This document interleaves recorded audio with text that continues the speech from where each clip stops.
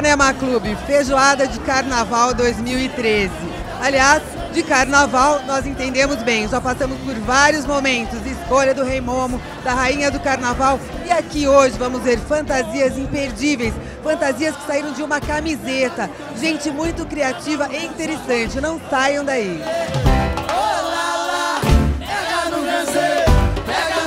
E nos anais, nos anais da nossa história, encontrar personagens de outrora que iremos recordar. Sua vida, sua glória. Chegando na feijoada do Ipanema Clube, quem eu encontro? Acho que é a pessoa que mais gosta de carnaval, Renato Lazarim. Tudo bom, Renato? Tudo bem, Rosane, e você? Tudo ótimo, encantada com a sua fantasia. E queria saber, foi você mesmo que fez? Quanto tempo demorou e que trabalho que deu para ficar essa coisa divina? Tá certo. Rosane, é o seguinte, eu tenho, eu tenho amigos, não tenho colaborador, tenho amigos, tá? Paulinho Franco, Lucas Pereira, Sidney Fernandes. Então, em- quando eu fiquei sabendo o tema da feijoada, eu falei, não, já vamos começar, a gente já fez um esboço de um croquis e tal. E comecei a fazer sem a camiseta, sem ter comprado convite, sem nada. E depois eu vejo o que eu faço e desde outubro a gente tá trabalhando, comprando material e comprando pedraria, arrumando, colando. Então desde outubro que a gente tá bolando tudo isso para ter esse resultado aqui, que acho que ficou bem bacana. Quero que você diga o que você acha. Bom, eu já disse, eu achei perfeito. Agora, desde outubro é tempo demais.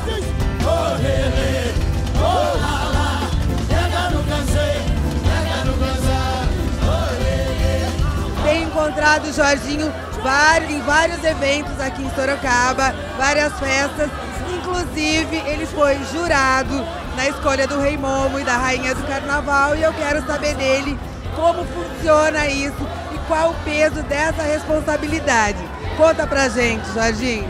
Olha, Rosana, é, foram 14 jurados e nós tentamos escolher a melhor candidata possível para a rainha e para o rei Momo. Foi uma responsabilidade grande. Depois que terminou lá a festa, a gente se reuniu para somar as notas. Foi uma loucura. E eu acho que a menina que ganhou foi muito bonita, né? E o rei Momo também foi o melhor possível lá que tinha. tão bonitinha do pai. Coisinha tão bonitinha do pai. Oh, coisinha tão bonitinha do pai.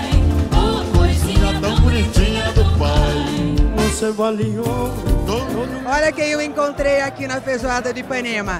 Carlos Laino, nosso colega de casa da Local TV, que apresenta o programa Cenário. Tudo bom, Laino? Tudo bem, Rosane? É um prazer estar encontrando você numa festa tão bonita que nem essa feijoada de Ipanema. Bonita mesmo, eu também estou gostando. Muita gente arrumada, muita fantasia legal. Eu queria saber de você, você gosta muito de carnaval? Como que sempre gostou? Participa de todos ou gosta mais da tranquilidade? E é só essa feijoada que você comparece? Essa é a vigésima feijoada que eu compareço. Eu acho que tirando a Salete é, e o Hélio, eu e a Patrícia somos os únicos que viemos nas 20 feijoadas do Ipanema. Então nós gostamos muito. Eu acho que é uma das festas mais bacanas do clube. Pelas pessoas bonitas, pelos amigos, comida boa, bebida boa. Mas mais do que isso, essa confraternização, essa participação. E por- pelo carnaval, eu sou diretor de um bloco, o bloco Boca a Boca. Esse ano de férias, eles me deram férias que eu pedi. Esse ano nós vamos para o Carnaval do Rio de Janeiro. A gente vai para Marquês de Sapucaí, vai participar de alguns blocos lá no Rio de Janeiro, mostrando que a gente gosta mesmo disso. Agora vamos falar um pouquinho de trabalho. Fala pra gente como é que tá o seu programa, quais as novidades, as coisas mais interessantes. Olha, o, o- cenário é um programa que já está indo para o seu terceiro mês no ar, terceiro, quase quarto mês, fazendo parte da grade da, da programação da Local TV, do canal 23 da NET, onde você também está lá com o seu programa, mostrando uma proposta nova para Sorocaba. A gente fala no meu programa, que não é meu, é o programa de Sorocaba, da TV, basicamente de política. Fala com as pessoas que fazem a vida política da cidade, com mandato ou sem mandato para ver, para o sorocabano conhecer quem é essa pessoa, num bate-papo totalmente descontraído, é feito num lugar totalmente descontraído, então está sendo muito bacana também. Levei o meu samba pra mãe de santo. Quando uma olhada eu carrego meu patuá. Eu levei, levei o meu samba pra mãe de santo levar. Quando uma olhada carrega o meu tatuar Acredito, acredito ser o mais valente Nessa luta do rochedo com o mar E mar Olha que honra minha, hein? Estou aqui entrevistando Jair Rodrigues. Tudo bom? E aí, Rosana? Manda um beijo pro pessoal. Gente boa do programa 23 da NET Enfoque. Rosana e, e adjacência. Amigos todos, um grande abraço para todos vocês. Felicidade em estar aqui. Eu adoro muito essa, esse povão maravilhoso daqui. Muita honra nossa de saber disso. Aliás, o ano passado teve uma homenagem para você, né? Foi, eu vim aqui. Nossa, recebi a homenagem. E até agora eu estou assim, em êxtase, né? Que ótimo, e nós ficamos muito felizes de recebê-lo novamente e de você dar uma entrevista para nós aqui para Local TV. Muito obrigado, muito sucesso sempre. Opa, você dispõe sempre, viu? Vocês não pedem, vocês mandam. Alô, gente? Um abraço, um bom carnaval para vocês. Alô? E eu, eu, eu já eu já estou começando a curtir desde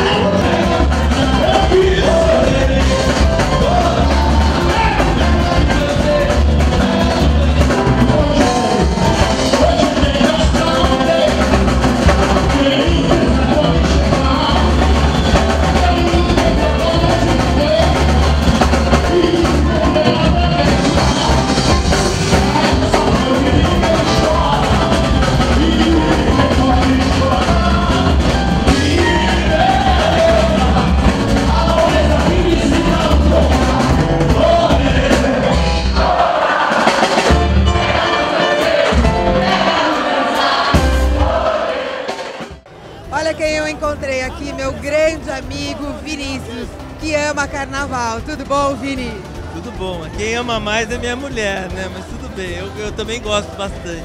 Minha família adora carnaval.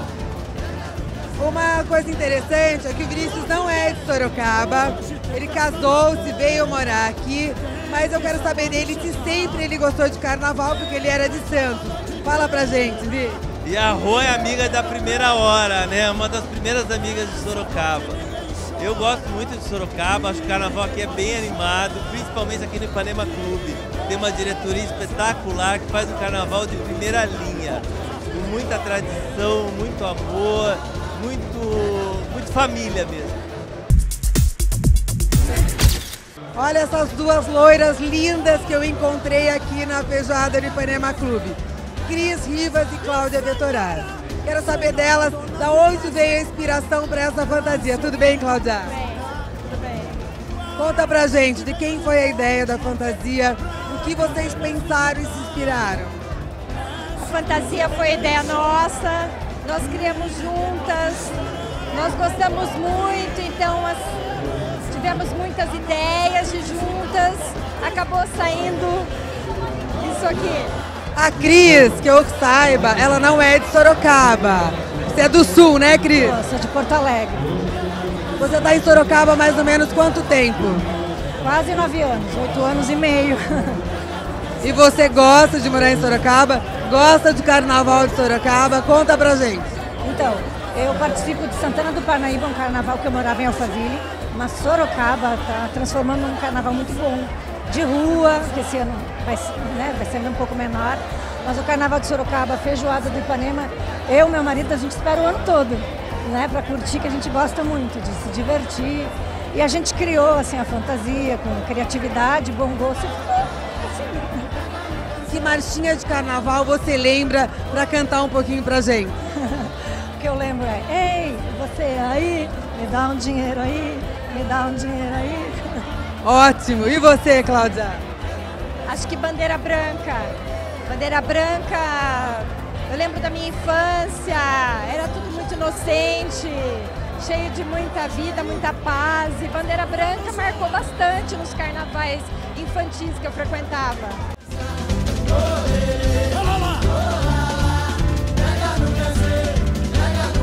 E senhora, senhora dona de casa, traz seu filho pra cantar para um rei que veio de longe pra poder nos visitar.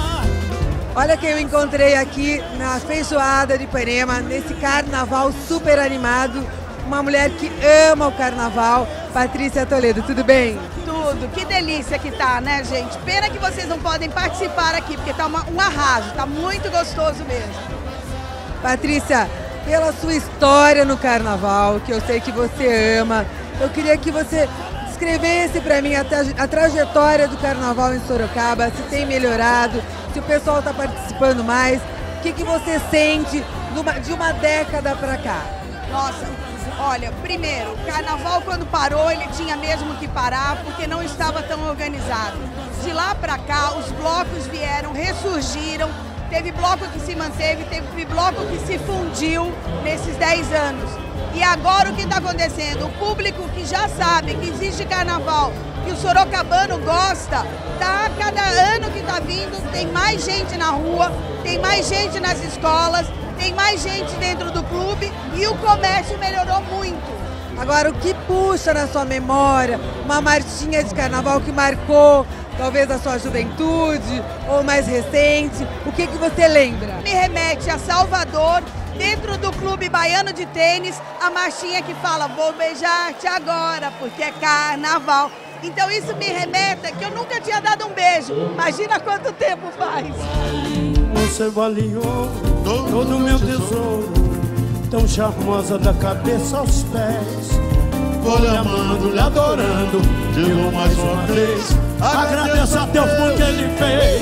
Oh, coisinha tão bonitinha do pai, oh, coisinha tão bonitinha do pai. Estou aqui com as responsáveis pelo sucesso desse evento, da Feijoada do Ipanema. Há muitos anos elas são as responsáveis. Salete, Mércia e Tereza. Tudo bem com vocês, Mércia?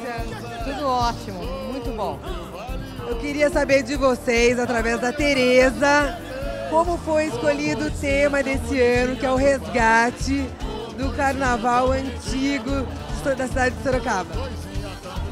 É, que a Salete lembrou nossa, da nossa época, quando a gente curtir o carnaval aqui no Ipanema, quando a gente tinha 13, 14 anos.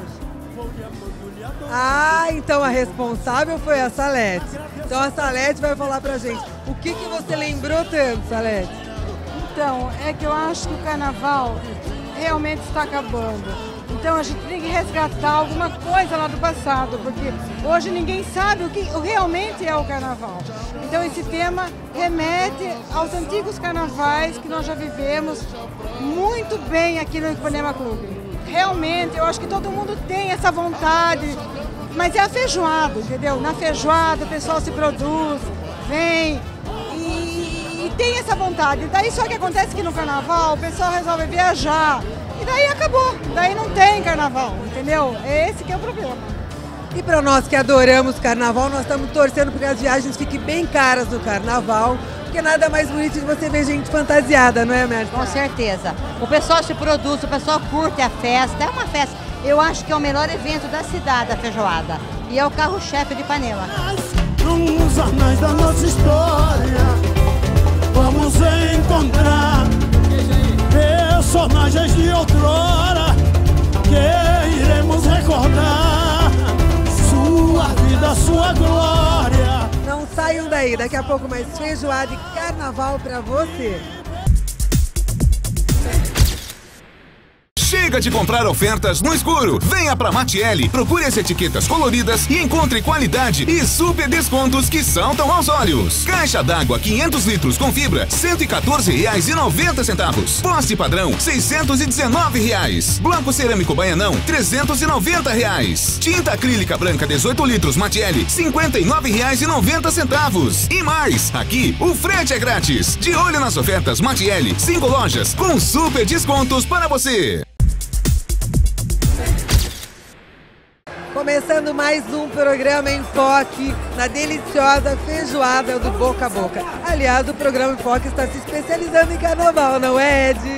Verdade, ontem você esteve presente na feijoada do Ipanema e hoje a gente está aqui na feijoada de 10 anos do bloco Boca a Boca. E a gente vai mostrar para vocês por que essas feijoadas são tão famosas.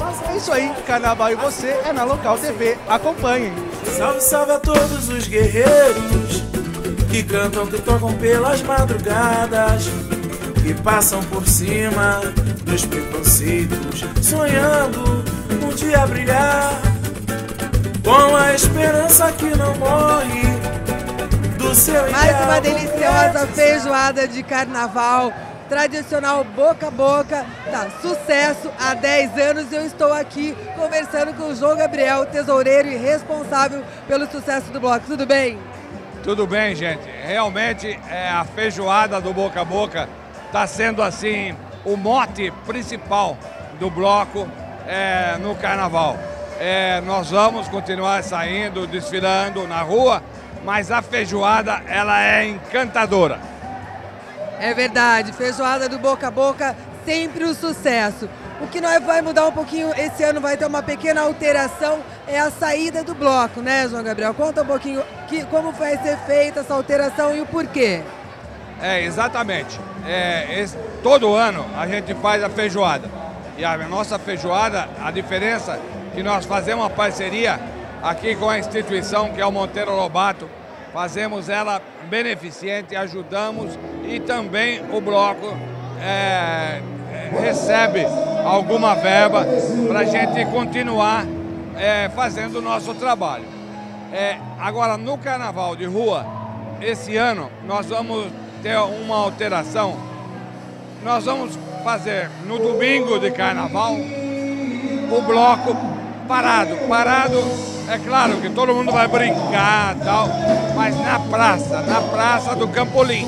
E para dar mais glamour ainda, a feijoada do Boca a Boca, que já é um sucesso, hoje tem uma participação especial. Conta um pouquinho quem é que vai estar se apresentando daqui a pouco. Exatamente. É, essa, essa contratação foi maravilhosa através do Jorginho, da banda Café Brasil há dois meses atrás. Quando ele falou, falei, ah, não tem condição, Jorginho, nós não podemos.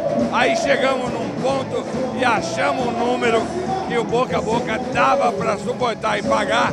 E trouxemos uma ala completa. E daqui a pouco todo mundo vai se deliciar com a Beija-Flor de Nilópolis, inclusive com a rainha da bateria que ganhou no programa na Rede Globo a rainha do carnaval é, de todas as rainhas a da Beija-Flor foi eleita. Então nós estamos muito felizes de estar com esses companheiros aqui em Sorocaba, a Beija-Flor de Nilópolis. Concretizar, corre na frente do tempo, pra ver se de repente chega lá.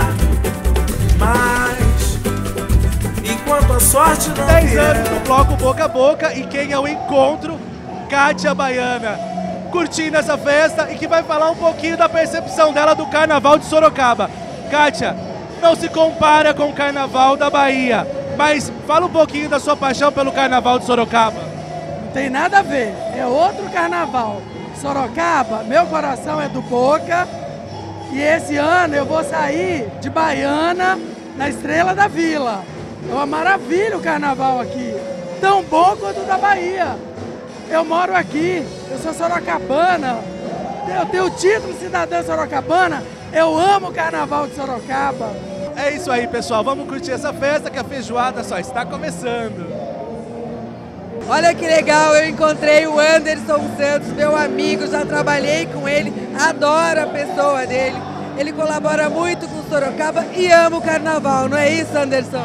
Olha, Rosana, a gente está feliz, primeiro pelo seu programa, uma pessoa que eu adoro, uma pessoa é, batalhadora, que eu sei que sempre está aí junto com o Sorocaba. E a gente agora curtindo a época de carnaval, né? Carnaval, sem dúvida alguma, teve em Sorocaba um desenvolvimento muito legal nos últimos anos. O Boca a Boca é um bloco que manteve essa tradição do carnaval e com certeza absoluta, esse ano promete muito. Então, com certeza, a gente fica feliz por conta desse carnaval que está acontecendo, não só nos blocos, que Sorocaba tem uma característica toda especial. Além dos blocos, tem as escolas de samba. Então nós podemos ter no nosso carnaval tanto o bloco de é, Salvador, na Bahia, quanto as escolas de samba, que são algo inerente a São Paulo e Rio de Janeiro. Enquanto a sorte não vier, seja lá o que Deus quiser, seja em tempo bom ou debaixo de chuva.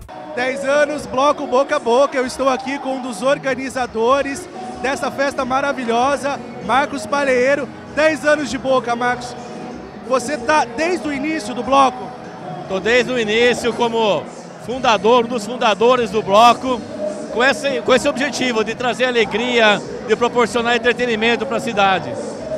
Marcos, e a gente vê que todo ano vocês vão inovando, vão melhorando a festa. Esse ano a gente vai ouvir aí a bateria da escola Beija-Flor de Nilópolis. Conta pra gente, foi difícil fechar com eles, até trazer eles aqui para Sorocaba? Foi difícil, foi custoso, né? São 25 integrantes, estão vindo do Rio de Janeiro para cá, já, já estão aqui, aliás. É, mas a cada ano a gente procura melhorar mais. A feijoada no Boca, já tradicional, a décima feijoada, começou pequenininha. Começamos lá no Beer Garden, fazendo pequenos eventos, depois fomos lá no pequeno salão é, do, lá do Clube de Campo. E aí no Monteiro Lobato a gente veio se solidificar mais, né? É o terceiro ano que a gente faz aqui. Eu acho que esse ano é a grande consagração da feijoada. Madrugueiro nunca perde a fé. Canta, toca e dança. Pra ver se arruma um qualquer. Seja em tempo bom ou debaixo de chuva. Madrugueiro nunca perde a fé. Bloco boca a boca, feijoada e pessoas maravilhosas sempre do nosso lado. Ana é a proprietária e chefe do Madalena, né, Ana? Tudo bom? Que energia deliciosa! Ana, pelo visto você curte carnaval, não? Bastante! Carnaval, comida boa, boas companhias, maravilhoso! Ana, é a primeira vez que você vem no Boca ou você já acompanha essa trajetória do bloco aqui em Sorocaba? Não, já virou meio que uma tradição, né? Todo ano a gente espera o, a feijoada do Boca, o desfile do bloco. Sempre, todo ano a gente acompanha. Ana, conta pra gente. Eu fiquei sabendo aí nos bastidores que você tem uns contatos fortes na Gaviões de São Paulo. Conta isso pra gente. Bom, Gaviões é sempre Gaviões, né?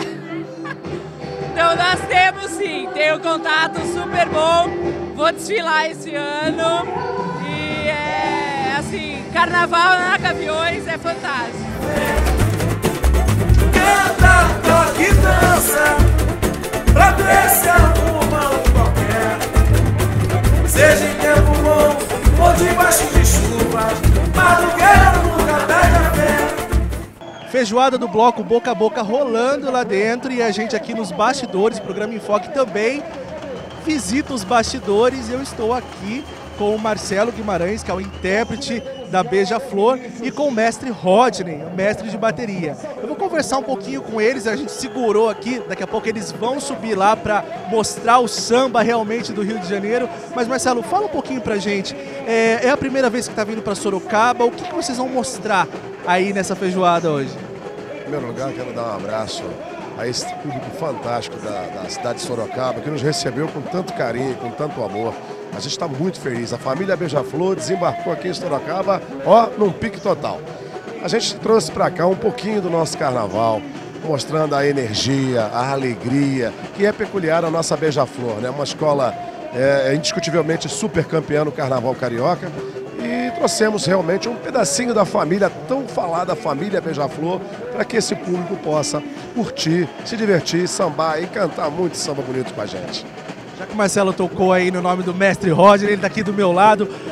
Mestre, fala pra gente, normalmente quem toca, quem participa da bateria, tem outra profissão, são pessoas que trabalham no dia a dia. Como é trazer o pessoal, reunir toda essa galera para levar o samba perfeito para a avenida? É, você falou bem, o pessoal tem é, atividades paralelas, não são só redimistas. Eu tenho doutores, delegados, agente penitenciário, tem gente que não presta também, faz parte, todo lugar tem.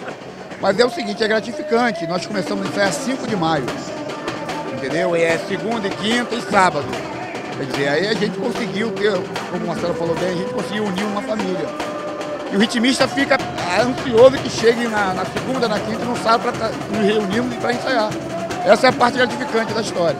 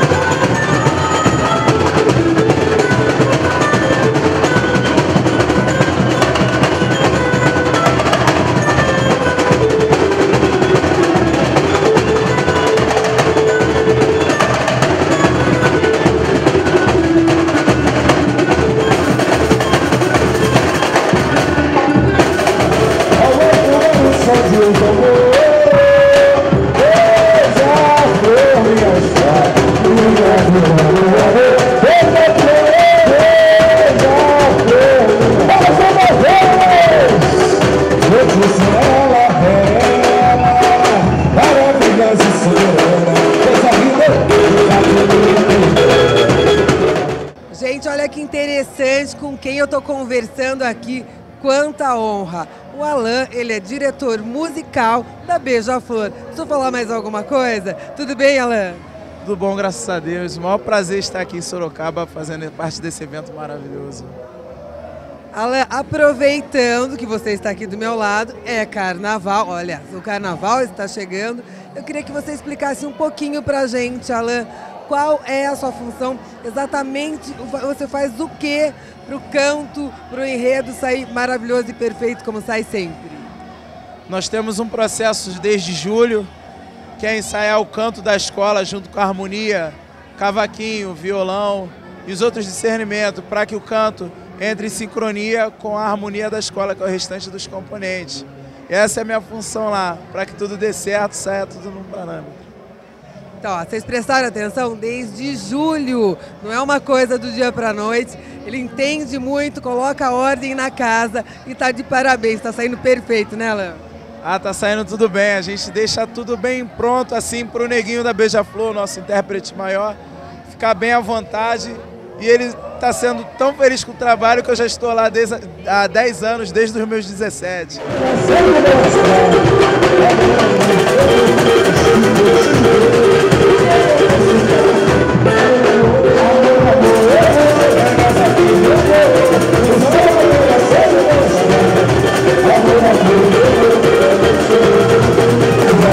Final